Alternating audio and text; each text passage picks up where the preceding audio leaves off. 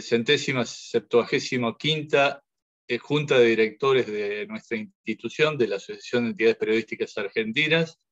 Vamos a comenzar con un panel en el que vamos a abordar las tendencias de consumo para 2021. Van a participar allí Guillermo Oliveto, director de la consultora W, y Mariela Mosiulski, directora de la consultora Trend City.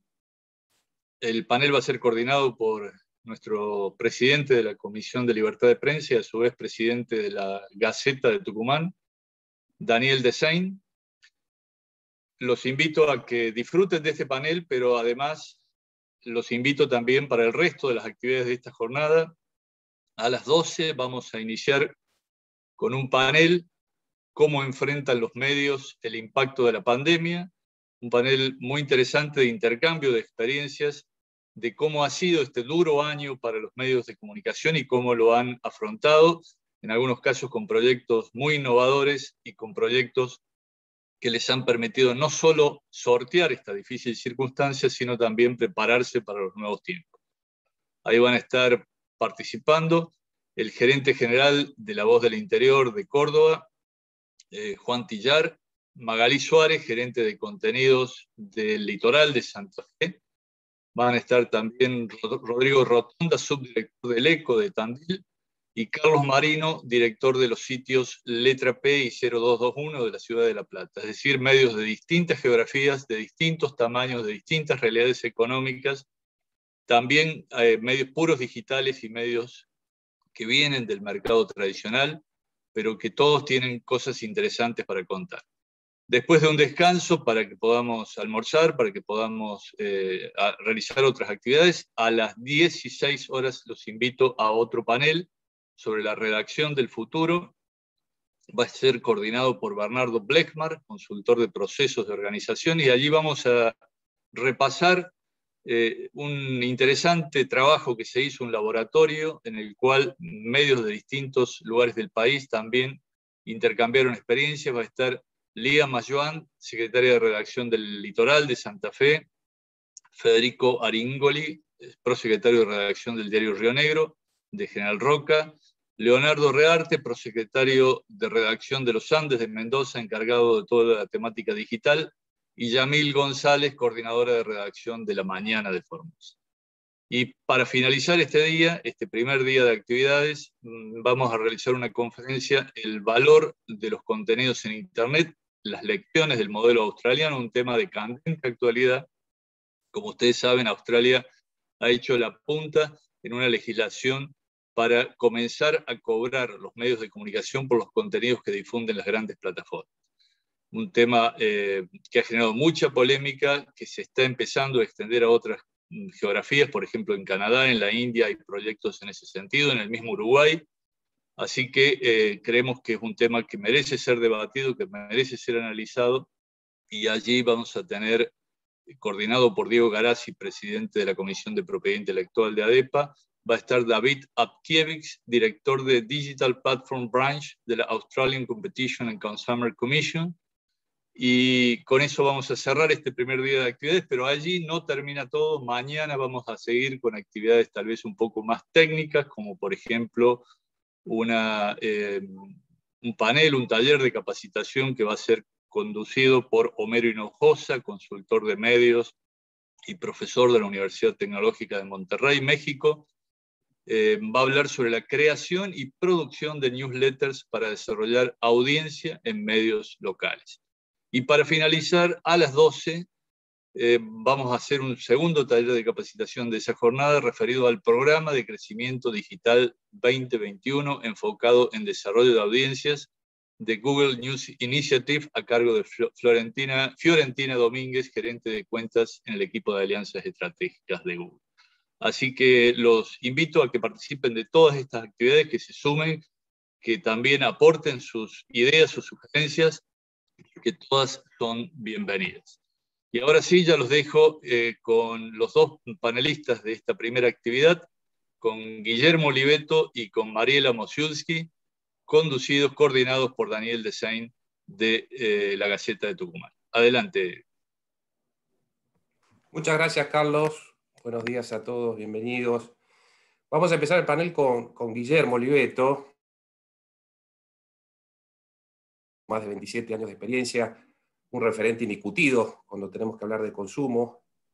Muchos de nosotros lo seguimos en sus columnas quincenales en La Nación, pero desde ADEPA lo hemos tenido como invitado muchas veces, lo hemos tenido en nuestra anterior junta, casualmente iniciando también un ciclo de charlas donde nos habló, bueno, qué perspectivas teníamos en ese momento, ¿no? Cuando empezaba la, estábamos en medio de los meses duros de, nuestra cuarentena y, la incertidumbre dominaba el escenario. Hoy Guillermo nos va a contar qué pasó desde entonces, ¿no? Cómo atravesamos estos, estos más, de, más de 12 meses de, de pandemia y de clausuras y de idas, y vueltas, dónde estamos parados hoy y qué perspectivas tenemos hacia adelante. Y en definitiva, una pregunta que nos dejó en su momento, ¿no? ¿Cómo se iba a dar esa tensión, como se dio y cómo se dará entre el temor por un lado y el deseo por otro. ¿no? Bueno, ¿qué, qué podemos constatar hoy y, qué, nos, qué, nos, espera mañana? Son las, grandes preguntas que, Guillermo intentará responder. Luego, luego tendremos a Mariela. Mientras tanto, ustedes pueden pasarnos eh, sus preguntas, sus dudas, sus comentarios y al final de las exposiciones tendremos un espacio para, para conversar entre todos. Guillermo, si estás por ahí, Adelante. Acá estamos, Daniel. Bueno, muchas gracias por la presentación. Un gusto estar otra vez junto a DEPA compartiendo estos momentos donde a veces resulta difícil eh, pensar y entender un poco dónde estamos parados. Vamos a, tratar de contribuir en ese sentido. Comparto mi pantalla para que puedan eh, ver la, presentación. Eh, nosotros seguimos hablando de, que estamos en un hábitat viral yo planteé el año pasado que no estaba muy de acuerdo, por supuesto, fue una, nomenclatura que a nivel global funcionó muy rápido. Eh, ustedes saben muy bien de qué se trata poder, eh, poder adherir a, una, eh, a un concepto que, que, todo el mundo rápidamente pueda comprender de qué se trata lo que estamos diciendo, y esto creo que fue el gran valor de la New Normal o de la nueva normalidad, pero nos parecía que, de algún punto eh, de vista tenía como una cosa apresurada, creo que no se debe haber surgido al, segundo día que comenzó la pandemia, más o menos, esa idea. Y, fue muy útil, pero creo que no fue tan precisa, porque tenía intrínseco una idea de el mundo cambió para siempre y nunca más nada volverá a ser igual, cosa en la que nunca creímos, eh, y nosotros decidimos desde nuestro punto de vista, llamar a esto eh, un entorno que, tenía una concepción de interregno, ¿no? Y, hoy el mundo está hablando mucho más de eso, está hablando mucho más de la era inter-COVID que hablando de un mundo que cambió para siempre. Y yo creo que en ese sentido empezamos a tener un poco más de claridad en la capacidad de pensar este momento y de imaginar sobre todo el futuro, y en eso sí estamos como mucho más cerca o adherimos mucho más con esa idea de entendamos el interregno y entendamos de qué se trata. Por eso quería arrancar por acá, ¿qué aprendimos del 2020? Lo primero que aprendimos es que el sistema era, por supuesto, muchísimo más frágil de lo que suponíamos, tal cual lo planteábamos el año pasado, no se podía dejar de viajar, se dejó, no se podían cerrar las fronteras, se cerraron, no se podía lograr que la gente estuviera encerrada en su casa, se logró. El fenómeno fue totalmente surrealista y en términos de consumo, en Argentina, tanto la pandemia como la cuarentena, que a esta altura ya nadie discute que fue ni, los propios infectólogos que asesoran al gobierno, ni el propio gobierno, diría yo, porque si no, a esta altura tendría que estar totalmente todo cerrado, digamos, tomando los mismos parámetros del año pasado. Está claro que hubo un aprendizaje en ese sentido. Tanto la pandemia como la extensa cuarentena desarticularon todo. Fue como haber pateado un tablero donde la tensión que finalmente se constituyó en una eh, tensión que organizó toda la dinámica de lo que fue sucediendo con los mercados, con las empresas, con los negocios, con el proceso de digitalización, fue entre el hogar y la calle. Todo lo que de alguna manera podía llegar al hogar sobrevivió, funcionó, se las arregló, se reinventó, la calle muy golpeada. Eso tuvo un enorme impacto sobre la estructura social. Eh, yo eh, presenté el lunes, o escribí el, el fin de semana, digamos, se publicó el lunes una columna de opinión donde eh, señalaba que el grupo social más afectado por la pandemia en la Argentina es algo, uno del que muy poco se habla, que es la clase baja no pobre, digamos, lo, que está en el medio entre la clase media y la pobreza y que fue eh, cayendo en la pobreza en este salto que hubo del 35 al 42%, fundamentalmente porque son los que necesitan estar en la calle para poder generar sus ingresos. ¿no? Hay mucha informalidad en ese segmento social eh, y esto es lo que generó como consecuencia una calle apagada. Eh, pensemos que Argentina tuvo por lo menos cuatro o cinco meses con muy bajo nivel de actividad en la calle, eso al principio parecía no notarse. Eh, eh, hoy creo que estamos empezando a ver las facturas del 2020. Yo digo que esas facturas se pagan en el 2021. ¿Y por qué no se notó? Bueno, porque de pronto los hogares sentían que tenían más dinero y nadie podía entender muy bien por qué. Cuando uno miraba los números aparecía la respuesta. Había el 40% de gastos promedio habituales de un hogar que no se podían hacer o porque estaba directamente cerrada la actividad, recreación, cultura, restaurantes, hoteles, o porque estaba prohibida la movilidad, transporte, o porque no había líbido para comprar eso, o porque los shopping estaban cerrados, ¿no? Ropa, calzado y algunos bienes de cuidado personal. Claro, cuando todos esos gastos volvieron, obviamente la situación fue muy diferente. Cuando uno mira lo que sucedió con los mercados, lo primero que vemos es algo que me parece muy crítico que entendamos, que la pandemia está claro que es un ciclo, digamos, y tiene distintas instancias en ese ciclo. Esto para ustedes también es, es clave porque los humores, las búsquedas, la, eh, yo miraba ayer los, eh, los ratings de los canales de noticias, ayer quemaban las pantallas de los canales de noticias. Estaban las señales peleando por el liderazgo, midiendo arriba de cinco puntos. Eso marca una agenda muy caliente eh, y que expresa un momento parecido al que vivimos el año pasado cuando entramos al confinamiento. ¿no? Bueno, en ese momento fíjense que el mercado de consumo masivo volaba. Eh, ¿Por qué? Porque todo el mundo creyó que venía la Segunda Guerra Mundial y, salieron a comprar comida como locos. Esto, por supuesto, después se regularizó. Vino una situación muy complicada, pero no hubo eh, desabastecimiento. Otro tema adicional acá, que también quería mostrarlo a través de este chart, ojo con cómo leemos los números desde, yo diría, marzo, sobre todo abril en adelante, porque va a ser muy difícil. El consumo masivo en marzo está cayendo casi 20%. Y cuando uno dice, pero ¿cómo? Una catástrofe que el consumo 20%. Claro, pero va a estar comparando contra un marzo totalmente extraordinario que fue el de los primeros días de cuarentena. Cuando veas el PBI de abril, no importa lo que pase con la economía, es altísimamente probable que crezca en el orden del 12 o 15%. ¿Por qué? Porque en el año pasado cayó 26. Entonces, va a ser va a haber una batalla discursiva por la interpretación de las cifras, sobre todo en este contexto y cruzado con un año electoral, porque todas las cifras del año pasado están sumamente distorsionadas por un proceso de confinamiento que fue muy duro. Bueno, lo que ven aquí después es que, por supuesto, este mercado terminó flat el año pasado, para un año donde la economía cayó 10%, eh, no, es, no es malo, pero de ninguna manera eh, superada lo extraordinario, la situación fue buena, ¿no? Lo que vemos son caídas de 3, 4%. El problema que tiene hoy el gobierno es que claramente conoce ya esta curva. Una curva donde la gente arrancó diciendo, no, no, a mí me importa la pandemia y hay que cuidarse y, la vida es la prioridad y no importa la economía, eh, que en mayo eso ya no empezaba a ser así y que a partir de junio claramente no era así. Eh, y terminamos en la salida en octubre con 70-30, cuando, ah, por otro lado, teníamos todavía niveles de contagios muy altos. Bueno, Sinopsis volvió a medir esto los otros días y le da un número muy parecido, o sea, prácticamente no se movió. Habrá que ver ahora, que la gente obviamente está empezando a tener más miedo, pero de todos modos, eh, también el 2021 tiene los aprendizajes en la sociedad del 2020 y en algún punto la pregunta hoy que, nos tenemos que hacer es hasta dónde la sociedad puede resistir otro round de, esto, ¿no? Y esto es el gran dilema que hoy está trabando tanto el proceso de, toma de decisiones. La sociedad en algún momento obviamente empezó a salir, como había sucedido en Europa en su verano, allá por septiembre-octubre, lo fue haciendo progresivamente sin permiso y después un día lo hizo con permiso, ¿no? Pero fue como, bueno, salir de, de esa jaula claramente ahí la economía o la, microeconomía, la cotidiana, los mercados empezaron a recuperar. Si uno mira los números de diciembre, tenemos muchos números positivos en varios sectores y tenemos otros mucho menos negativos que lo que fue el acumulado anual. Ahora, si uno mira el acumulado anual, de ninguna manera podía subestimarse una contracción del PBI que es la segunda más grande de la historia de la Argentina. Yo insistí mucho con esto el año pasado. Cuando estuve con ustedes se los dije también.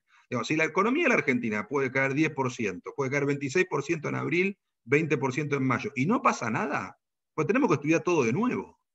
Bueno, sí pasaba algo. Lo que pasa es que en ese momento no se notaba porque estaba el confinamiento, porque estaba contenida la inflación por el confinamiento y porque además estábamos todos en la burbuja lógica del el temor a lo que implica la pandemia. Ahora, cuando la gente retomó cierto grado de, entre comillas, normalidad entre la primavera y el, y el otoño, en, esa, en ese veranito que fue el verano, en esa ventana, bueno, empezó a preocuparse fuertemente por la economía.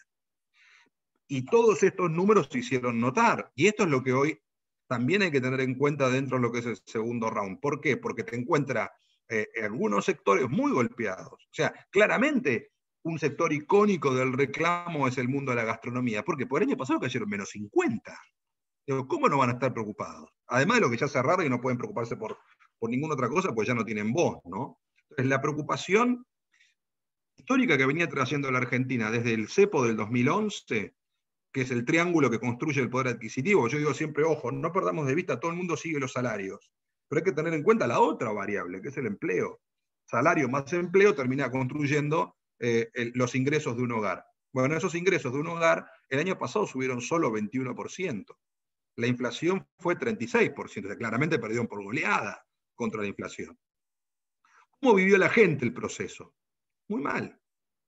Esto es otro tema crítico a considerar a la hora de informar, a la hora de comunicar. Los argentinos hoy están viendo una crisis de carácter multidimensional como nunca vieron.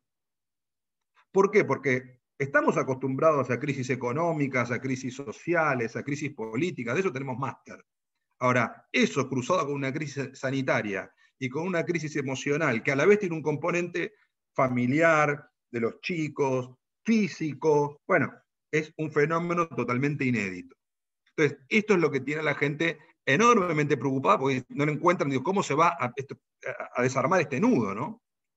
Cuando uno mira los indicadores objetivos de performance de la pandemia, hay, solo dos indicadores que realmente no tienen discusión, que es la evolución de la economía y la, cantidad de fallecimientos por millón de habitantes. Todo lo demás es discutible, porque los casos dependen de los test, ya aprendimos de eso. Bueno, en esa matriz Argentina no está bien.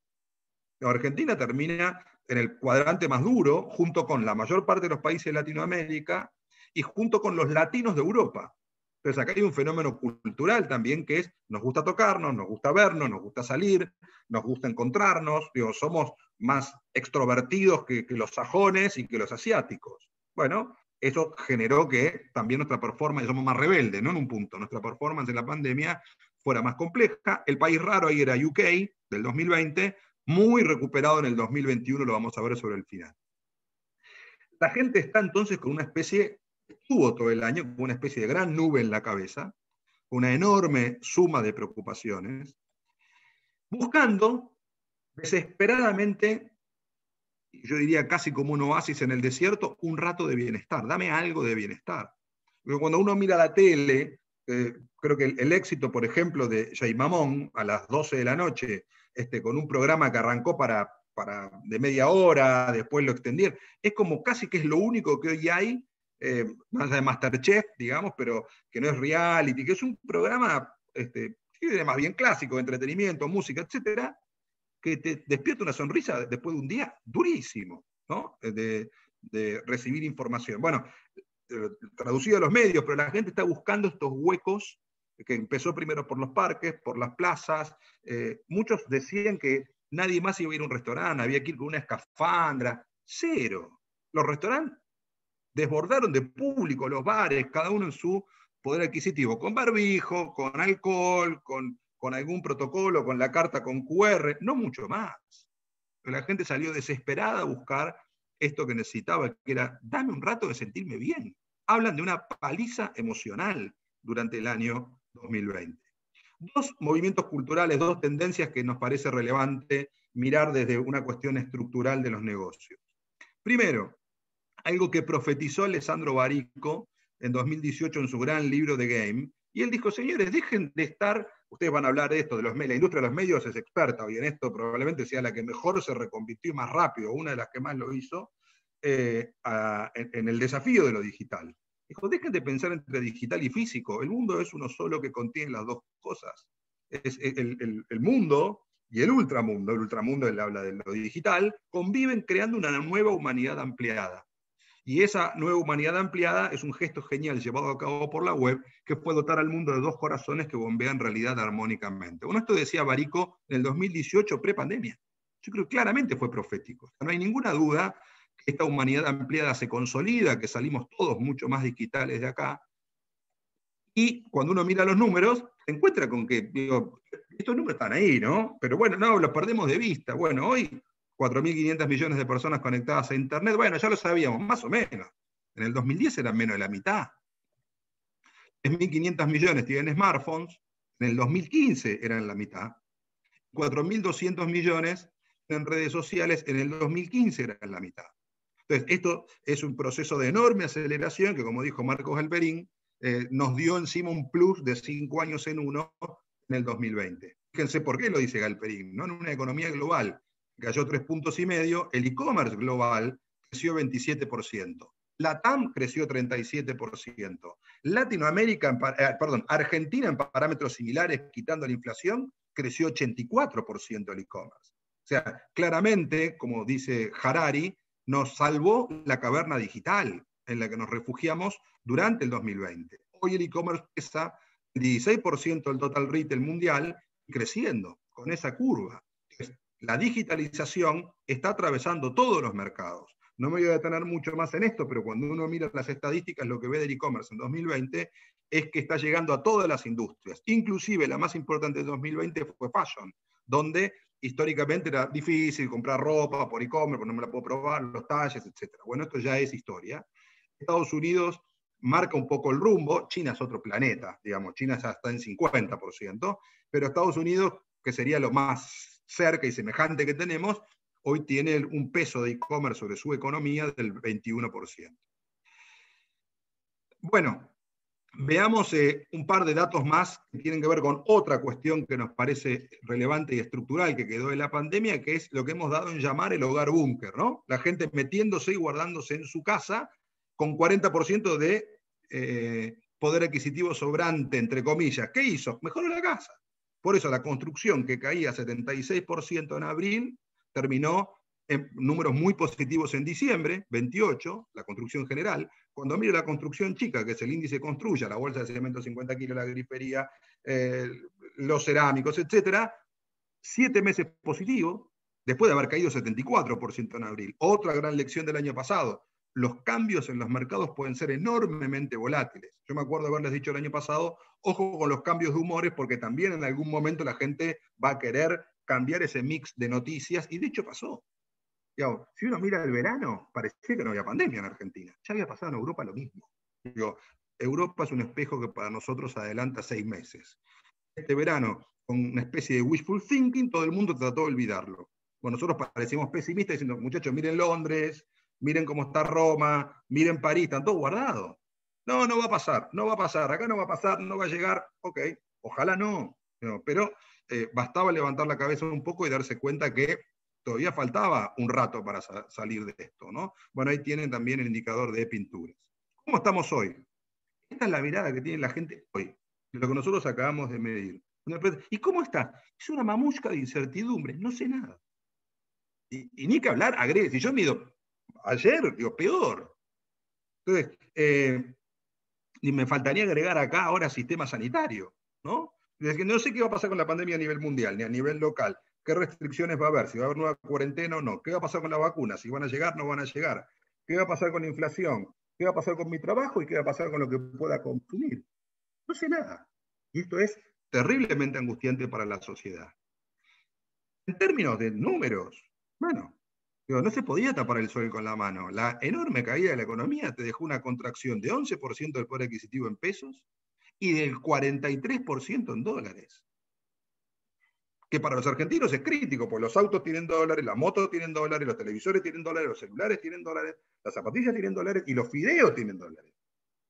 En alguna parte de toda, de toda su cadena de valor. Con lo cual, naturalmente, eso se traduce en inflación, en pérdida de poder adquisitivo. Fíjense lo que pasó con la inflación.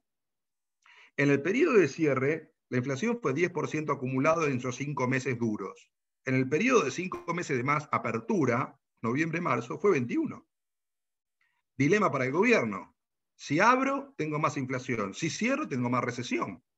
¿Qué hago? Bueno, en eso están, ¿no? Cuando uno mira hoy la realidad de los mercados, lo que ve es que el mercado de consumo masivo los únicos dos meses comparables, que fueron los de enero y febrero, porque a partir de marzo es muy difícil, como ya les dije, comparar, tuvo una contracción de 4,5%, es decir, la inflación se está haciendo sentir y la pérdida de poder adquisitivo se está haciendo sentir. Los supermercados crecieron 6%, pero los autoservicios cayeron 12%, una brecha que no existe. ¿Por qué pasa eso? Bueno, en un lado hay precios máximos y regulados y en otro lado hay precios reales. Bueno, está claro que la gente, como no es tonta y está muy eh, atenta buscando optimizar su poder de compra, fue a buscar aquel lugar donde, bueno, acá hay un control, compro acá, ¿no? Por último, ¿cómo podemos pensar el futuro? Diría un par de cosas en las que vengo insistiendo mucho eh, y sobre todo insistía en el verano, cuando estábamos todos, todos naturalmente queriendo relajarnos un poco. Señores, no subestimemos la complejidad del 2021. No la subestimemos. ¿Por qué? Porque va a ser un año muy difícil porque estamos cargando con todo el costo de 2020, tenemos el aprendizaje, pero por otro lado, eh, todavía quedan cosas por ocurrir que, tienden a ser más complejo el, sistema. Cuando me decían, proyecta el 2021, ¿cuál va a ser el número? ¿Cuál de todos los años 2021? pensemos más en escenario, ¿no? Entonces pensemos, ¿llegan vacunas? ¿No llegan vacunas? ¿Llegan pero tarde? ¿Llegan bien? ¿Cómo, ¿Qué va a pasar? ¿Hay o no nuevo confinamiento? Dos variables muy concatenadas una con la otra, tema de la agenda de hoy. ¿Va a haber devaluación? ¿Va a haber shock inflacionario? Esto los economistas hoy dicen, en general tendemos a pensar que no. Lo, eh, en octubre, septiembre del año pasado lo daban casi por firmado. O sea, esto cambió porque el gobierno cambió. Y para la gente hasta ahora lo venían haciendo razonablemente bien, que eso lo leía en la baja del dólar de 195 pesos a los 143. Se te movió 15 pesos eh, o 12 pesos en, en unos días, ya todo el mundo se empieza a poner nervioso. Acuerdo con el fondo, veremos, esa variable hoy está abierta, tiende más bien a parecer que no que que sí, pero bueno, veremos.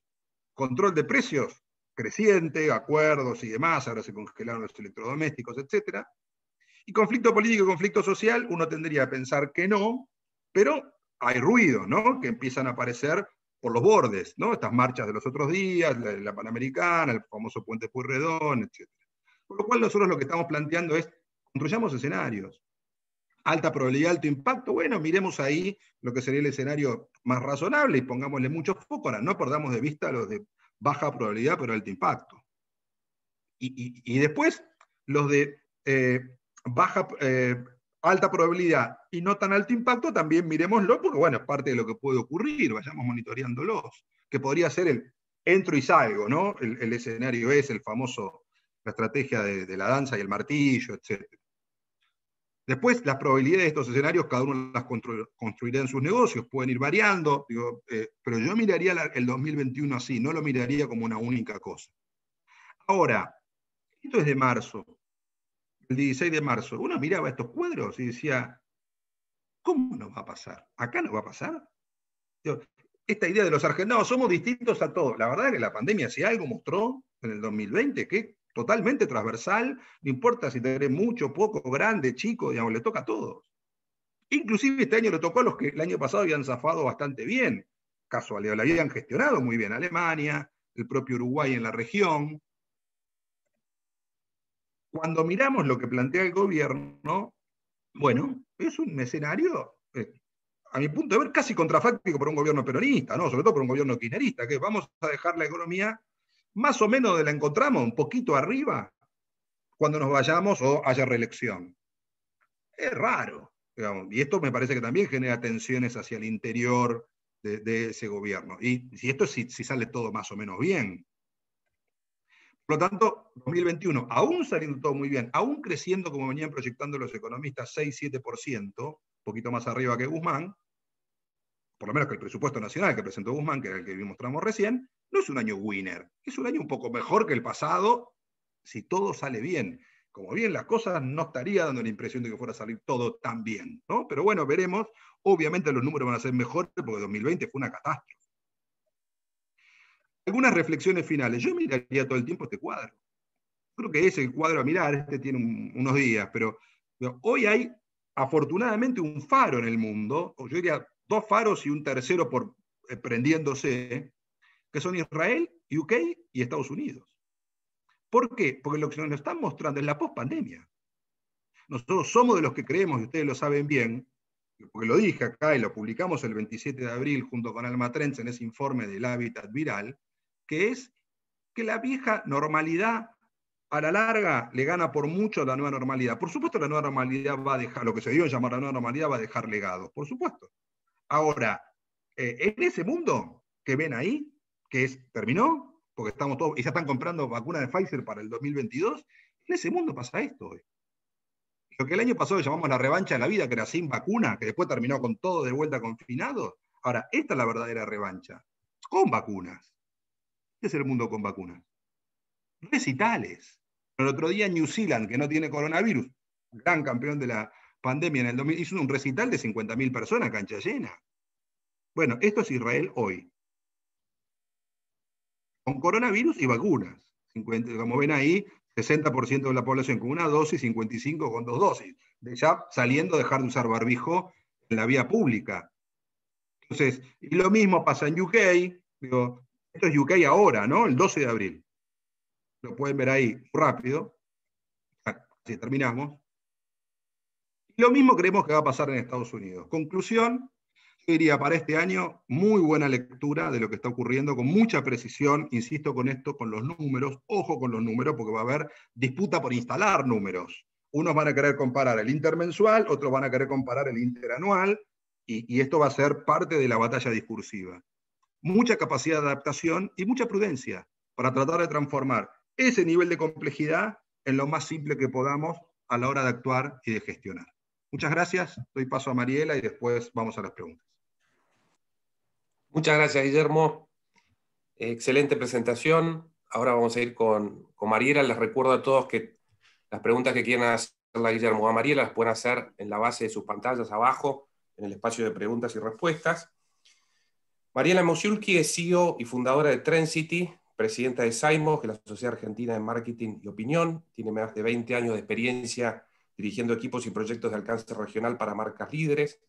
Y nos va, nos va a hablar sobre los cambios socioculturales, ¿no? ¿Cuáles parece que se quedan definitivamente? ¿Cuáles son coyunturales? ¿Qué, qué podemos ver hasta ahora de lo que ha ocurrido en, en materia de comportamiento? Mariela, si estás ahí, te invito a prender tu cámara Hola, acá estoy, no sé si me ven. Ahí te dejé la... Escuchamos y te vemos. Perfecto. Perfecto. Adelante. Bueno, voy a, compartir pantalla. A ver si se está viendo. Perfecto. ¿Se ve? Perfecto. Muy bien. Bueno, muchas gracias. Un, placer estar aquí. Quiero, quiero ver simplemente si estoy acá, porque me, aparece una, un aviso que no, me deja ver. Se está viendo, ¿eh? ¿Se está viendo? Bueno, perfecto. Bueno, eh, como gracias por la presentación y como bien eh, introdujiste, eh, voy a hablar de las tendencias en este sentido sociocultural y lo primero que quiero explicar es qué hablamos cuando hablamos de tendencias. Para que realmente algo cambie a nivel sociocultural y generen cambios de hábitos, cambios de valores que se manifiestan después en propuestas tangibles de la oferta y cambios en la demanda, tienen que coincidir una serie de cambios relacionados con la demografía, cambios demográficos, cambios tecnológicos y cambios geopolíticos. Todos estos cambios generan distintos valores de época y lo que podemos llamar grandes megatendencias, que son como macrofuerzas, de las que luego se derivan tendencias más concretas.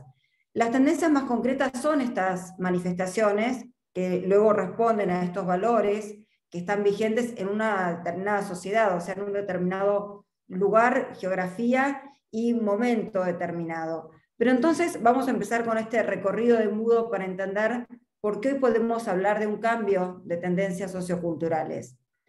En el contexto, pensando cuáles son los principales cambios demográficos, tecnológicos y geopolíticos que justamente, como todos sabemos y como vimos tan claramente en la presentación de Guillermo, hoy estamos en este cruce de grandes cambios.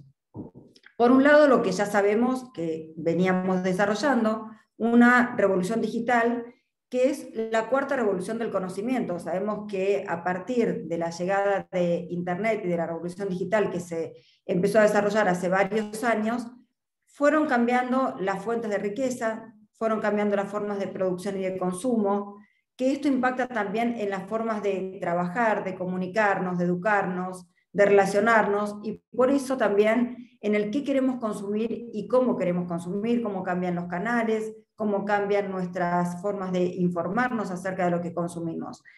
el gran cambio, pensando en, en, la pandemia, porque esta pandemia es diferente a otras pandemias que ya tuvimos en la historia de la humanidad, es que justamente esta pandemia se cruza con esta revolución digital.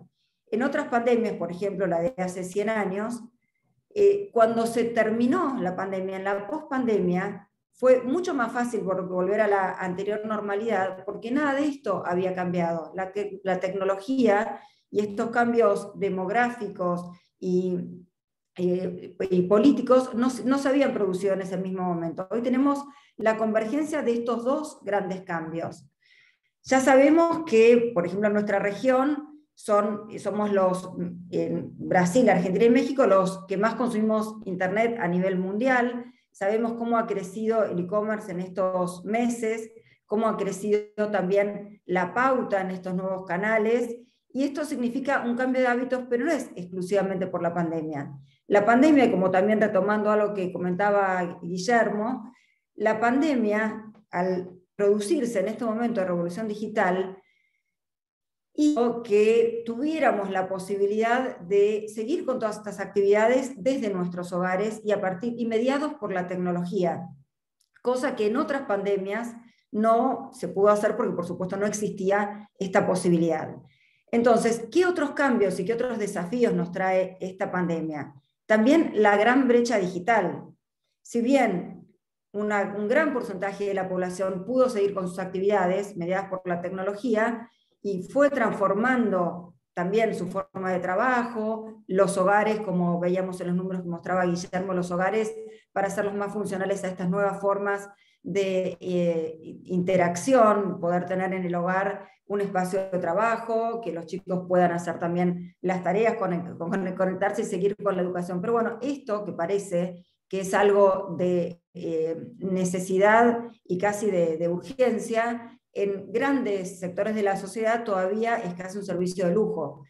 Eh, se habla mucho de la brecha digital. La brecha digital es un concepto que se usa para hablar de las desigualdades entre quienes tienen acceso a las tecnologías y quienes no. Pero tener Internet ni siquiera es realmente poder estar conectados. Se necesitan habilidades que no todos tienen, se necesita cantidad de dispositivos por hogar, y acá vemos números que a veces nos sorprenden, que eh, un 20% aproximadamente tiene su propio dispositivo, el 72% usa dispositivo de un uso común en el hogar y que eh, todavía hay porcentajes que directamente no tienen ningún dispositivo en el hogar.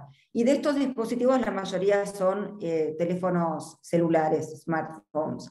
Entonces fue realmente muy complicado para muchos hogares, con un porcentaje muy alto de los hogares, poder seguir con la educación y con el teletrabajo. Ahí vemos que también esta brecha digital lo que hace, y esto sí sucedió en otras pandemias, es incrementar también el coeficiente Gini, el coeficiente entre quienes más tienen y quienes menos tienen.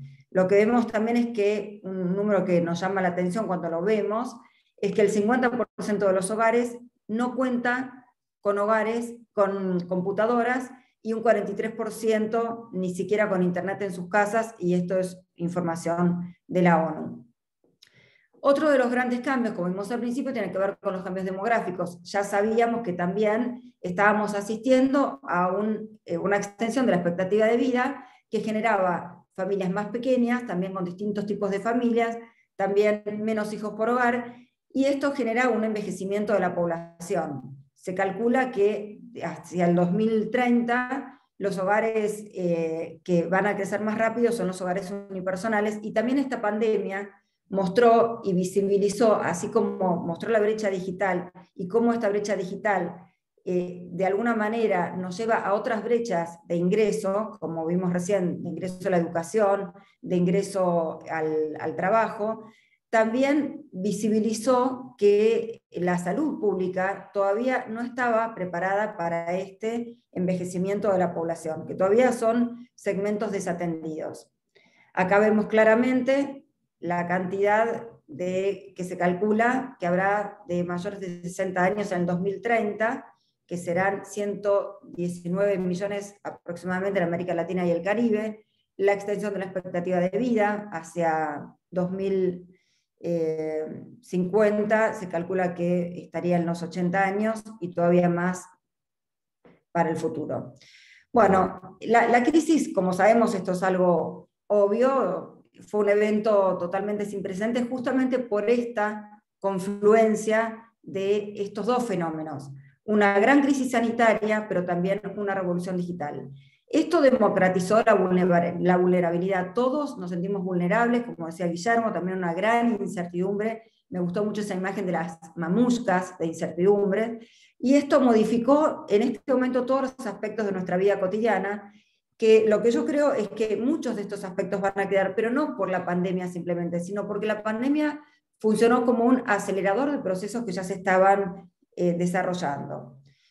Escuchamos muchas de estas palabras, ¿no? más eh, hacer, se les pide más hacer las empresas más story doing, eh, la innovación, el consumo local, la gran preocupación por la salud, cómo creció el e-commerce, el streaming, la necesidad de inclusión, qué va a pasar con la, con la movilidad, los hogares que tienen que ser multifuncionales, la empatía que se necesita de parte de las marcas, conocer cuál es su propósito, el detox tecnológico también, porque eh, lo, que vimos, por ejemplo, en los segmentos de edades de las nuevas generaciones que suponíamos que iban a estar totalmente eh, eh, como contentos o, adaptados a esta modalidad de pasar todo a través de las tecnologías, fue un hartazgo de pantallas, sobre todo en los niveles más altos, porque también hay que diferenciar diferenciar el hartazgo de pantallas de la carencia de pantallas, como veíamos antes. Pero también se revalorizó el contacto con la naturaleza, la conectividad, la ética, la solidaridad. Bueno, estas son las palabras que fuimos escuchando mucho en estos últimos meses y que tienen que ver con estos valores que fueron creciendo en la, en la sociedad. La honestidad, porque la gente está muy preocupada por las fake news, está muy, como decía también Guillermo antes, eh, todos ávidos de saber qué va a pasar, va a crecer la economía o no, va a llegar la vacuna, cuánto, cuál es el número real de gente que hoy está infectada o de gente que hoy, eh, cuáles son las, la cantidad de camas que hay. Eh, entonces, la honestidad, la transparencia, la autenticidad, la integridad son valores que se trasladan a todas las demandas. También la agilidad y la creatividad para responder rápidamente ante las necesidades sociales y, por supuesto, económicas y de consumo. También la posibilidad de eh, permanencia, la gran preocupación, una de las grandes preocupaciones, además, por supuesto, de, de la inflación en la economía, fue por el desempleo, la permanencia, la seguridad, un momento de gran incertidumbre donde se busca anclaje, donde se buscan certidumbres, donde puedan encontrarse. Y todo esto deriva en valores que también se trasladan para el consumo. Un consumo más responsable, con mayor conciencia ambiental. También se valoró el sentido de colectividad por esta democracia de la vulnerabilidad. La inteligencia colaborativa también como una forma de poder salir de estas crisis, viendo cómo las grandes empresas pueden ayudar a su cadena de valor, por ejemplo. La valoración de la diversidad, el rescate de la naturaleza, como habíamos dicho, el propósito, el sentido, para qué existe tal empresa, cómo puede aportar al bienestar social, la necesidad de experimentación y sensorialidad, porque esto, y coincido con lo que decía Guillermo, es eh, netamente humano y no va a, cambiar. Vamos a seguir necesitando conectar, estar conectados, vernos eh, presencialmente, poder asistir a recitales eh, de manera presencial, pero estamos en un momento todavía de mucha incertidumbre acerca de cómo vamos a salir y cómo va a ser esta transición. Y lo que se espera también es que haya, que podamos identificarnos con los valores de las marcas. ¿Cómo estos valores se trasladan a las distintas industrias? Por ejemplo, en alimentación estamos eh, viendo en la mayoría de los estudios una gran preocupación por el bienestar, por lograr una buena vida y sobre todo por lograr inmunidad. ¿Cuáles son eh, los alimentos o los ingredientes? las formas de, de fabricar, de trasladar los alimentos para que realmente me puedan garantizar que voy a estar más inmune, que voy a tener, eh, que realmente la alimentación puede ser casi como un escudo. Entonces vemos que crecen todas las propuestas que incluyen de alguna manera esta promesa de inmunidad. Los probióticos, los prebióticos naturales, también más interés por leer las etiquetas, eh, saber sobre el origen de los eh, alimentos, cómo son los procesos, cómo es la ética de cada una de estas empresas, que sean cuidadosos del medio ambiente. También está creciendo porque una porción de la población y sobre todo las nuevas generaciones, de alguna manera culpa a los seres humanos, incluyéndose, incluyéndonos eh, todos, ¿no? hablan de una sociedad eh, hipócrita que, que, dice más de lo que hace y que eh, de alguna manera la naturaleza está siendo revanchista por habernos sentido dueños del ecosistema. Entonces crece, por ejemplo, el vegetarianismo y todos los productos a base de, de vegetales, también las huertas para poder acceder a alimentos más naturales eh, que crecen en los hogares, en los edificios, en los condominios, incluso en los espacios públicos. Acá vemos algunas manifestaciones de productos que prometen inmunidad, transparencia también en el empaque, mucha preocupación por los residuos, como decíamos también, todo lo que pueda ser, tener su versión al menos eh, a base de vegetales y la personalización, incluso la personalización con estudios médicos, para poder elegir exactamente qué tiene que consumir cada uno. Por otro lado, la educación. ¿La educación va a cambiar radicalmente? No, radicalmente no, pero sí es un momento de grandes replanteos donde, por supuesto, la educación se reconoce que tiene que ser presencial, pero paulatinamente más adaptada tecnológicamente. Lo que la pandemia también dejó de aprendizaje es que no fue fácil mutar de docentes a teledocentes, eh, que realmente la presencialidad es necesaria, pero que cada vez más va a haber esquemas híbridos, que se está creciendo mucho en eh, plataformas que permiten también eh, aprovechar las, las, las ventajas de la tecnología. Por otro lado, hubo una tendencia a contratar personas que con recorrido en lo digital, en lo tecnológico, pero tal vez sin los títulos universitarios ya ganados para estas nuevas necesidades. Y también otras iniciativas de incluir gaming en educación, como podemos ver acá algunos ejemplos que los voy a pasar rápido para, para poder llegar con los tiempos, pero que incluyen opciones para que eh, los, los alumnos, los estudiantes, puedan realmente hacer más fácil la, la educación virtual. En medicina también grandes cambios que venían, por supuesto, desarrollándose eh, por esta revolución digital de la que venimos hablando, pero que la pandemia necesitó que se acelerara, por ejemplo, la telemedicina, que era algo a lo que eh, había mucha, eh, mucha reacción negativa. ¿Cómo voy a ir a un médico que me atienda sin que me mida, sin que me pese? Bueno, hoy la telemedicina está instalada y rápidamente se, se, fue aceptando. Pero también está creciendo otras opciones de la, que nos brinda la tecnología en cuanto a bioseguridad, robótica, edición de genes, inteligencia artificial. Acá vemos, por ejemplo, este chip que eh, supuestamente va a poder ayudar a enfermedades que hoy no tienen solución, como el Parkinson, Alzheimer, distintas opciones que la tecnología nos, nos trae. También grandes cambios en el trabajo y en los hogares, que por supuesto se va a volver a trabajar de la misma manera, se va a volver totalmente a la antigua normalidad, yo creo que no, que va a quedar este blend virtual presencial, que por supuesto la gente no quiere eh, trabajar solamente desde los hogares, lo medimos eh, ahora muy reciente, tenemos el número, 49% de la gente decía que no quiere volver a trabajar como antes, teniendo que perder una o dos horas en el tránsito, pero tampoco quiere trabajar solamente desde el hogar. O sea, el trabajo virtual no es solamente el home office y por eso empiezan a aparecer terceros lugares o espacios donde las personas pueden acomodar su vida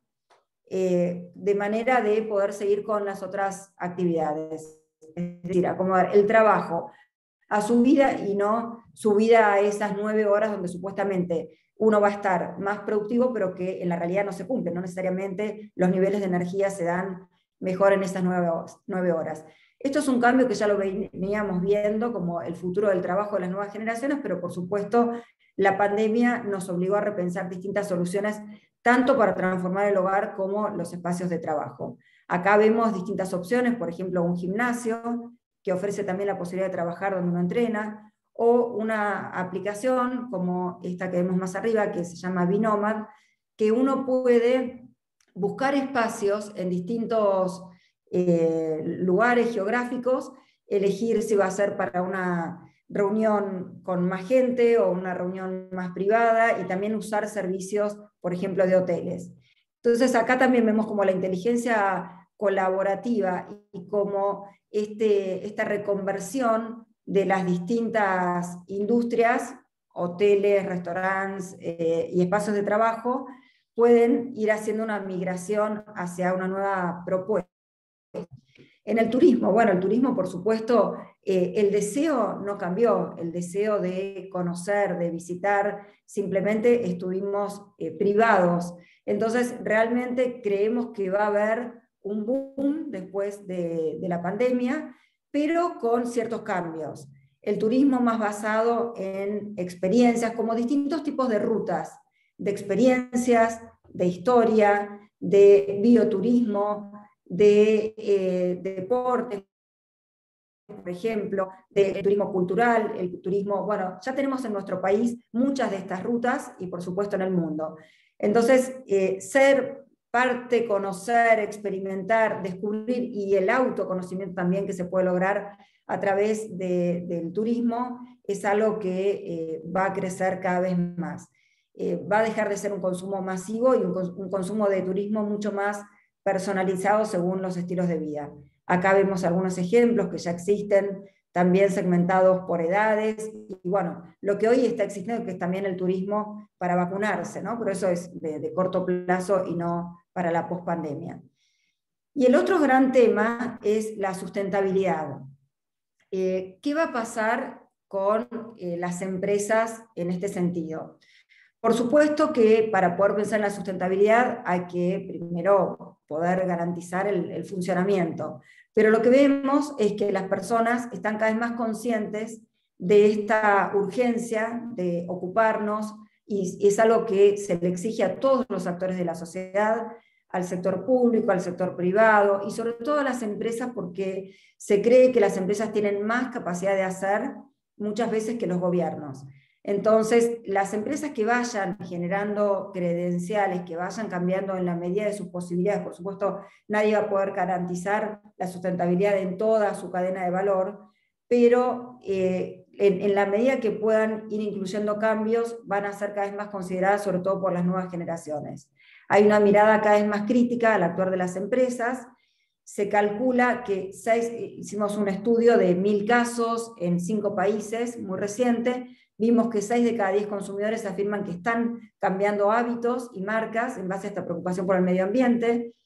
450 empresas de la región, en un estudio hecho por SAP, el 60% afirma que sus empresas tienen gran afinidad con temas como la igualdad de género, la economía circular, el cambio climático y eh, la fuerza laboral del futuro. Entonces, también toda esta gran crisis de incertidumbre, de vulnerabilidad, de, inseguridades, eh, genera una mayor demanda hacia el rol social de las empresas y de las marcas.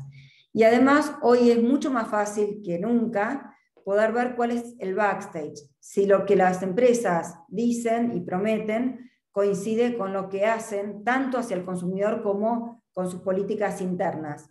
La marca productora y la marca empleadora son las dos caras de la misma moneda y cada vez son más evaluadas, sobre todo por las nuevas generaciones, que realmente en este estudio también vimos que van a querer trabajar en empresas con las que puedan comulgar con sus valores. Acá vemos también distintas iniciativas de distintas empresas, las huertas también en los hogares, cada vez más facilidades para poder tener eh, huertas tanto comunitarias como personales en cada hogar.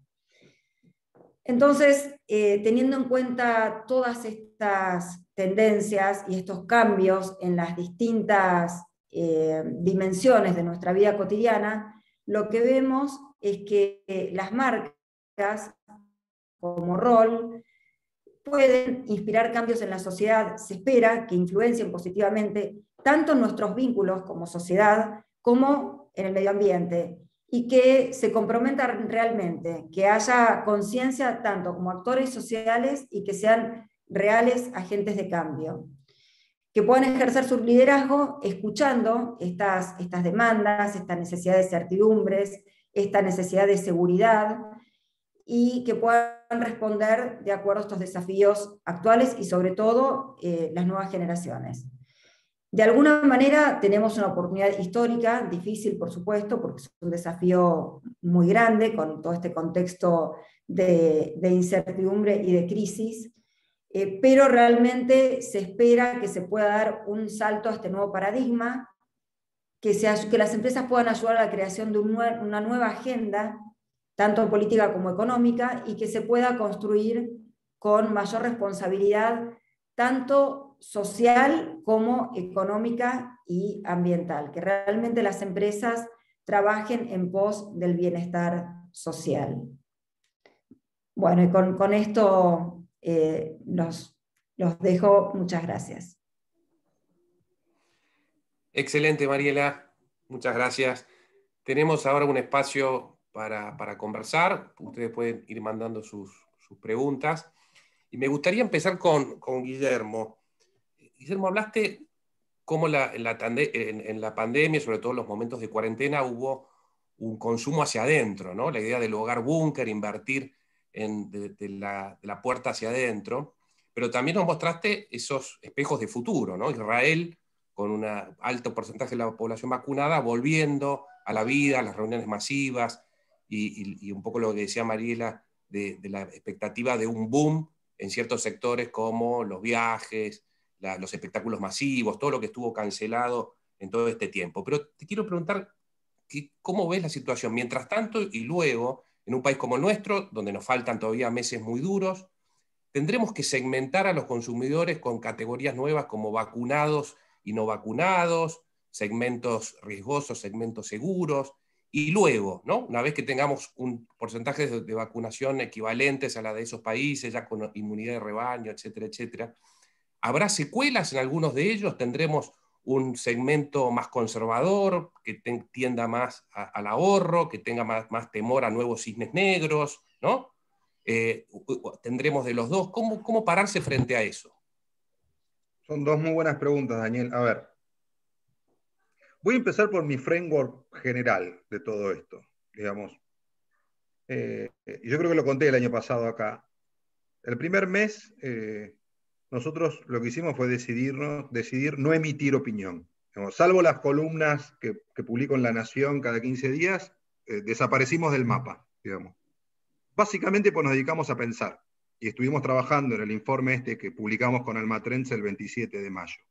Y, construimos esa idea del hábitat viral, o sea, no nos compramos lo primero que fue en el shock, todo cambió para siempre y nunca más nada va a volver a ser igual, porque partimos de una idea que era que al ser humano le costó mucho conseguir la vida que tenía. Una vida basada en la libertad, una vida basada en su propia capacidad de progreso, una vida basada en la igualdad de género, una vida basada en la capacidad de acceder a un montón de bienes que antes eran de las élites, por ejemplo, los viajes. Y creíamos que salvo que la pandemia durara in eternum, digamos, y que no hubiera ninguna solución, la gente iba a querer volver a muchas de esas cosas. Bueno, un año y medio después o un año después, yo diría, si lo tuviera que sintetizar en un tuit, la gente va a volver a todo. Ese es mi tuit de la pandemia, de la post-pandemia. Pues, decían, no van a volver los recitales, no van a volver los restaurantes, no van a volver los shopping. En un momento decían, ¿para qué van a abrir los shopping? No va a ir nadie. Bueno, obviamente los shopping abrieron en un país que no está vacunado, no les, no va como les, como les puede ir. Ahora, ya vimos que fue mucha gente. Entonces, eh, por eso yo creo que hoy el gran faro es Israel, pero el segundo faro es Londres y el tercero va a ser Estados Unidos en 10 minutos. Digamos, le falta nada a Estados Unidos para estar, ya está pasando medio en Miami, digamos, te lo cuenta cualquier argentino que ha ido para ahí. Entonces, sí comparto que por supuesto quedan legados, que hay que ver el tema oficinas, digamos, cómo se da esa hibridez, el viaje corporativo, porque las compañías de pronto encontraron un, los directores financieros de las compañías en un momento de crisis global encontraron un lugar donde ahorrar muy interesante, que, tomarte un avión, gastar en business, lo que fuera, para una reunión de cuatro horas, ¿sabes qué? Hacerla por Zoom. Entonces, esas cosas probablemente generen nuevos modelos más híbridos. Y creo que las categorías que vos planteas son muy interesantes. Eh, que probablemente, digo, está pasando hoy en Israel. O sea, vos entras a todo eso que yo mostré con un pasaporte que dice estoy vacunado. Si no, no entras. Entonces hay una nueva pulserita VIP, ¿no? Que ya no es para entrar al VIP de los boliches, sino que es para entrar al VIP de la vida. Es para entrar al VIP de esa revancha de, la vida. Eh, bueno, creo que hay que seguir mucho a Bill Gates. Los medios lo han publicado mucho en este tiempo. Él fue eh, no solo, porque, porque, no es un solo discursivo. Primero predijo la pandemia cinco años antes y segundo puso 300 millones de dólares en varias vacunas. Digo, eh, se jugó en serio. Bueno, él lo que está diciendo es esto termina, y primero dijo fin del 21 en los países desarrollados. Cuando vio que la vacunación viene tan irregular, dijo, lo corrió un añito, dijo fin del 22, vamos a aplastar la pandemia. Entonces, tal vez estas imágenes que estamos viendo, yo creo que vamos inicialmente en esta era inter-COVID a un mundo muy irregular y muy sectorizado. O sea, vos probablemente puedas empezar a tener turismo a Estados Unidos, eh, UK, pero no puedas empezar a tener turismo hoy Estados Unidos, Italia. ¿Por qué? Porque si, yo no voy a mandar gente ahí. Los italianos te dejarían entrar porque lo necesitan, porque el turismo pesa casi 15% de su PBI, y porque los, americanos vienen vacunados. Pero los americanos dicen, no, para no vayas ahí a ver si te contagias con alguna otra cosa rara y no te inmuniza la vacuna, ¿no? Entonces va a haber como, me parece, túneles de inmunización al principio.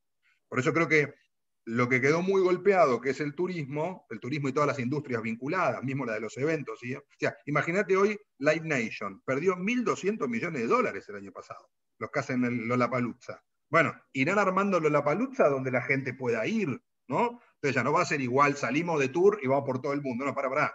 Irán por el circuito de los vacunados. Entonces, creo que ahí sí viene una segmentación que lo podríamos llamar la, el final de la pandemia digamos, que es esta cosa que vos decías de vacunados, no vacunados, que va a ser muy discriminante. Ahora, en algún momento, cuando esto termine, y esté más o menos la inmunidad en todos lados, yo soy de los que cree que la vieja normalidad le gana por lejos a lo que se dio en llamar, a mi modo de ver, con, todo el respeto que merece este, este análisis, eh, falsamente la nueva normalidad. Y lo racionalizo y lo explico por qué. Digo, porque esto de normal no tuvo nada esto es, una, es un evento eh, que nos va a dejar muchas marcas, y acá sí tomo tu punto, de secuelas, que van a durar años. Entonces, y quiero cerrar con esta idea. Yo tuviera que elegir una película, una, de, que, nos muestre lo que viene, que para mí esa película es el Gran Gatsby. El eh, Gran Gatsby está ambientada en 1924 que es post, primera, post la última pandemia que hubo, la gripe española 18-19, y post Primera Guerra Mundial. Por supuesto, la memoria borró la pandemia, porque no podía tolerar tantas cosas, la memoria histórica, ¿no? Pero existió. Entonces, en el Gran Gatsby, vos lo que ves al comienzo, cuando empieza la película, es a la madre que lo baña a él, y le dice, hay muchos virus, hay problemas, y él queda con un toque, digamos, el personaje central, eh, queda con un toque de, lo que implicaba eso, ¿no? Entonces, no sabemos hoy qué les va a quedar a los chicos del barbijo, el miedo, hay un bicho y toda esta historia. Y a la vez, el Gran Gatsby después te muestra lo que fue ese mundo donde la revancha de la vida fue furiosa. Después terminó la crisis del 30 y se la pegaron todo contra la pared de nuevo, digamos, pero este, hubo 10 años de fiesta en el mundo, o por lo menos para una parte de la gente que podía acceder a esa fiesta, que era como esa necesidad de recuperar todo lo que no habías tenido después de dos eventos tan devastadores, guerra mundial más pandemia, digo, olvídate. Entonces, creo que esa película muestra un poco de lo que puede ser el, el mundo post pandemia. Muy interesante, Guillermo. Y ahora voy con vos, Mariela. recién mencionó Guillermo el, teletrabajo y vos hablaste mucho sobre digitalización. Acá nos están escuchando muchos directivos y periodistas de medios gráficos en, particular. ¿Cuánto de todo esto, pensando en nuestro, en nuestro segmento, ¿no? crees que, va a quedar? ¿Qué hemos visto? ¿Subieron nuestras suscripciones digitales? ¿Hubo cambios? Al, principio había mucho temor al contacto físico todo eso después quedó descartado, ¿no? Se hablaba de la low touch economy, ¿no? Eh, eso por un lado, con, respecto al, consumo digital, ¿cuánto crees que, de eso se va, se va, a mantener? Y luego la forma de trabajar, ¿no? ¿En qué medida eh, regresaremos o no a nuestras oficinas? ¿En qué medida ciertos conceptos como el coworking pueden potenciarse o, o desaparecer? ¿En qué medida vamos a tener una relación distinta entre el trabajo y nuestras casas, cuánto de eso se va a mezclar. Sí. Bueno, retomando un poco lo que, lo que decía recién Guillermo, eh, yo también coincido en que no se puede hablar de normalidad, ni la anterior normalidad ni la nueva normalidad, eh, porque no sabemos a qué nos referimos exactamente, porque somos una sociedad que está en evolución constante, obviamente y que, como decía antes, estábamos ya atravesando esta revolución y desarrollo digital. La tecnología cambió nuestras vidas desde hace bastante tiempo, ya el crecimiento era exponencial y lo que hizo esta pandemia fue acelerar muchos de estos procesos. Entonces, si decimos, si pensamos si vamos a volver a la normalidad de, de cuándo, de los 2000, del 2010, del 2019, es, eh, e-, es difícil pensarlo en esos términos. Lo cierto es que esta pandemia nos eh, aisló en, en, nuestros hogares, tuvimos que tener esta distancia física y el avance de la tecnología permitió que siguiéramos con nuestras actividades en algunos segmentos de la población de manera remota y mediados por la tecnología. Muchos de estos aprendizajes y muchas de estas posibilidades, por supuesto, van a quedar, pero no por la pandemia, porque ya se venían desarrollando y porque nos abren también otras posibilidades de consumo, de información, de nuevos canales, de nuevas formas de pago, que sí están revolucionando cada una de esas industrias. Y en cuanto a las formas de trabajo, también ya se venía avanzando con la posibilidad del trabajo flexible, gracias a la tecnología que ya existía y que muchas veces era una posibilidad y casi una aspiracional, cuando se convirtió en una migración forzosa, dejó de ser, por supuesto, aspiracional, porque se necesita poder trabajar en otros lugares, no solamente desde el hogar, por lo menos en eso coinciden las encuestas, pero no va a volver a ser como en los 2000, ni como en el 2010. Eh, estas nuevas tecnologías, plataformas, espacios híbridos, horarios más flexibles, es una evolución que ya venía desarrollándose, que se aceleró por esta necesidad de estar más distanciados y no poder compartir los espacios por la pandemia, pero como una consecuencia. Y no, por supuesto, no vamos a quedar todos en el home office y van a cerrar todas las oficinas, pero sí va a haber un nuevo mix y una nueva forma de, trabajar en la medida en que cada industria y cada eh, que, cada tipo de empresa lo, pueda, lo pueda implementar. Que, es algo que, por supuesto, ya vemos, muchas oficinas están cerrando eh, algunos metros cuadrados, otras están eh, de alguna manera teniendo oficinas más chicas en distintos barrios, porque también está cambiando la, la movilidad, la urbanización, pero es parte de esta evolución que ya se venía dando. Por supuesto que apenas desaparezca el miedo a los contagios, vamos a querer volver a las actividades que nos dan placer como las que veníamos teniendo, como, como seres humanos que, que somos, pero por supuesto con la tecnología mucho más incorporada en todos los ámbitos de nuestras vidas.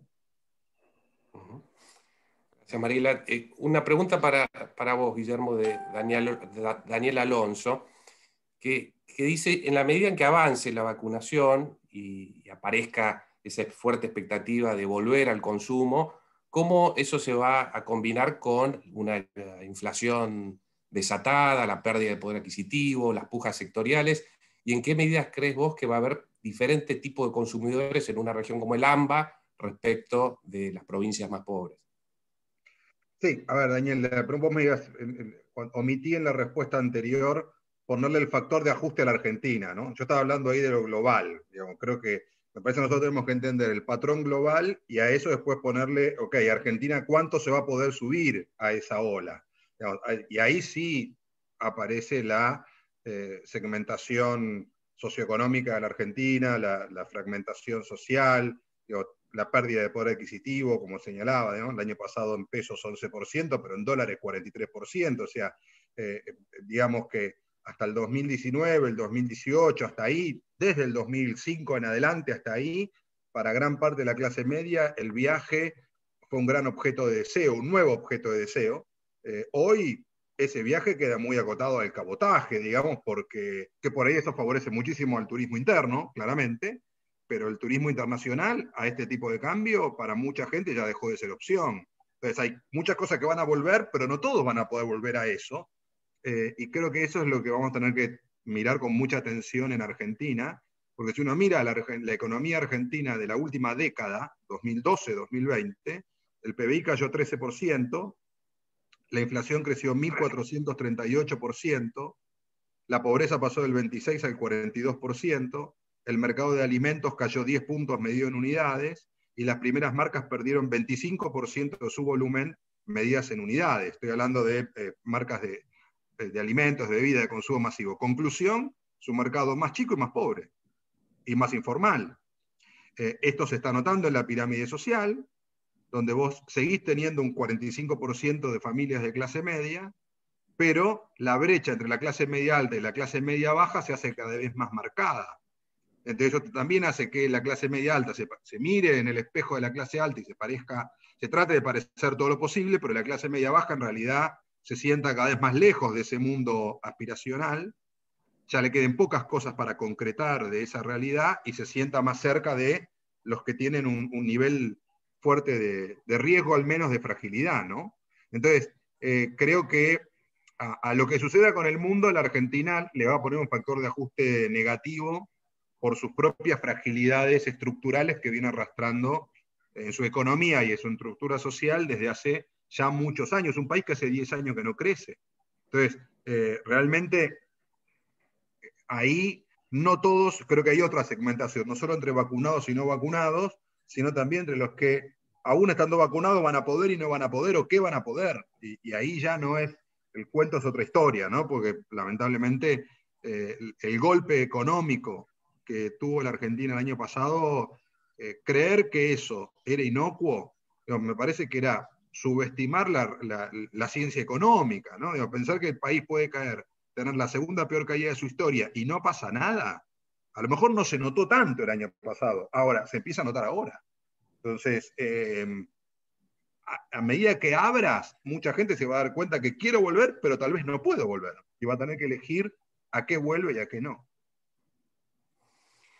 La última para los dos, tenemos cinco minutos para, cerrar.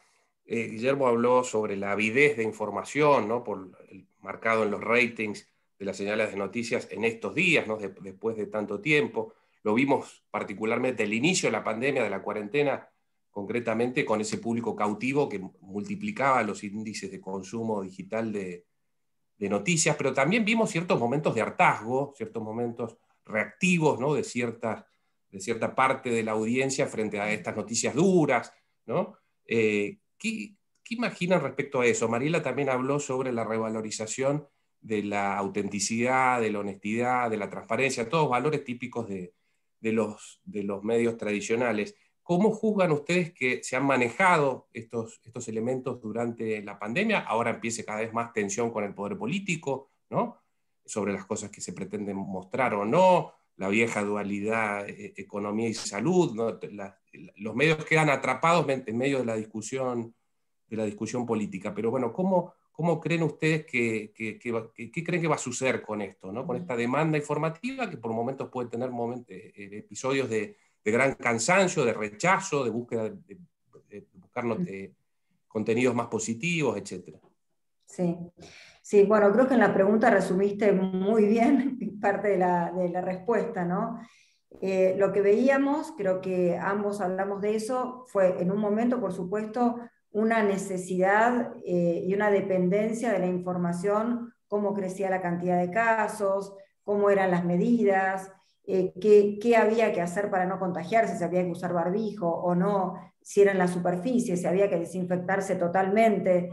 Después esa, preocupación eh, bajó, la, gente empezó a, recuperar algunas de, sus actividades y también algunos de sus consumos de acuerdo a sus posibilidades, pero hoy lo que vemos es una gran crisis de credibilidad y aparece muy fuerte cuando lo vamos viendo en los estudios continuos que tenemos, es el, el temor a las fake news, a estar mal informados lo que vemos, por supuesto, todos es la gran grieta, cada uno mira eh, el canal o eh, a la persona que realmente le cree para, eh, de alguna manera, confirmar lo que ya de alguna manera supone, para confirmar sus propias creencias.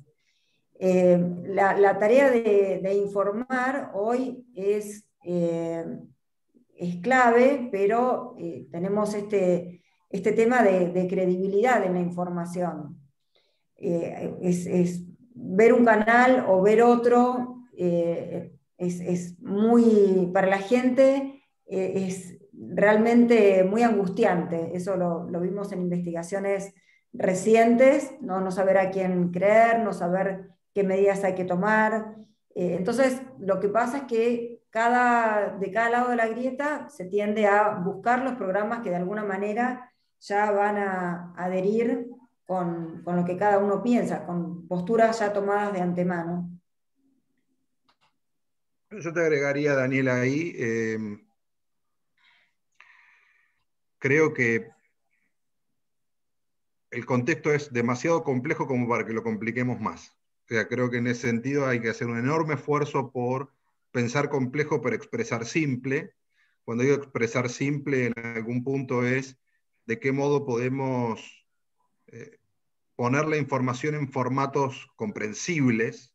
Eh, y creo que en este sentido hoy hay em, mucha data que nos puede ayudar mucho. ¿no? Eh, si vemos el éxito que tuvo el, el sitio de Our War in Data, creo que se basa en que tiene mucha data y que es muy fácil de mostrar muy fácil de graficar, la, plataforma es muy amigable y genera eh, eh, reportes que, son rápidamente comprensibles, que están bien titulados, donde yo diría casi ni sobra ni falta nada, que es lo más difícil, ¿no? Cuando uno trabaja con información en este nivel de complejidad, con una demanda que claramente está en tiempo real, pues la gente está hiperconectada todo el tiempo a esto.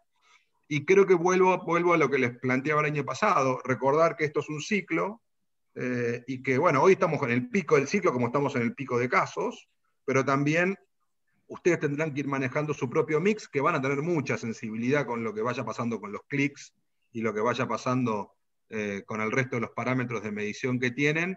Eh, en algún momento, cuando la gente empieza también a, salir y, a bajar un poco la intensidad, también empieza a demandar otro tipo de, agenda, ¿no?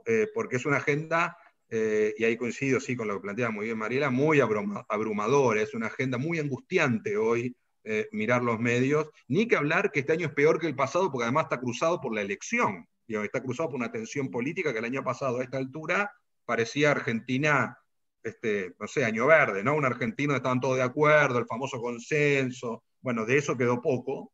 Probablemente haya algo ahora en esta etapa, pero ya más, ya sabiendo que no es tan así, digamos, que es más por conveniencia que por convicción en algún punto. Em, y bueno, eh, y, en general eh, cruzado con un momento de donde yo diría todavía queda mucho por ocurrir. Eh, y, ese por ocurrir no necesariamente es de, de lo más promisorio, ¿no? En el, estoy hablando del corto plazo, lo voy a sintetizar muy claro, creo que vamos a tener un muy duro invierno, digamos. Este, el otoño y el invierno, un poco ya lo sabíamos, pero una cosa es saberlo, otra cosa es prever y, otra, y una cosa es vivirlo, ¿no? Y vivirlo, uno nunca termina de saber bien cuál es la dimensión. Contra eso te diría, así como cuando mirábamos el mundo en el verano y éramos pesimistas para lo que implicaba hacia la Argentina, yo hoy si tuviera que buscar una esperanza, miraría el mundo este, que ya empieza a abrir, que está vacunado, que empieza a ir al verano y demás, por lo menos para construirnos un imaginario de salida que existe. Esto tiene fin. está claro ya hasta el turno, no hay ninguna duda que el fin llega con la vacunación.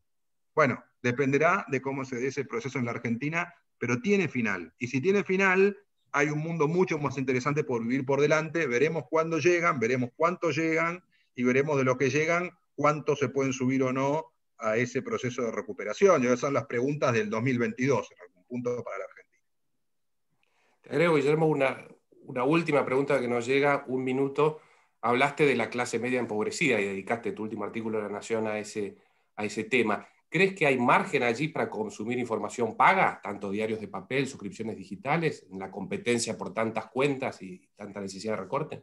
Hoy poco.